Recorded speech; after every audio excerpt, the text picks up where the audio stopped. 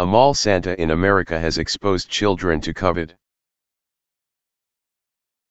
Which is the second most dangerous thing a mall Santa can expose children to?